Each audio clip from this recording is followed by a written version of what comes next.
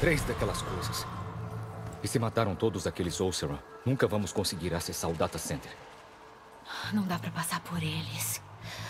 Além de serem fortes demais para um ataque direto. Dá pra procurar um povoado. Convencer caçadores a ajudar. Isso levaria semanas. E a gente não tem todo esse tempo. Talvez seja melhor que esse foguete caia. Aquilo? Como? Vou dar um jeito. Me espera aqui. Eloy. Só confia. E lá vai ela. Só preciso chegar até o foguete e pensar num jeito de fazer ele cair na bacia.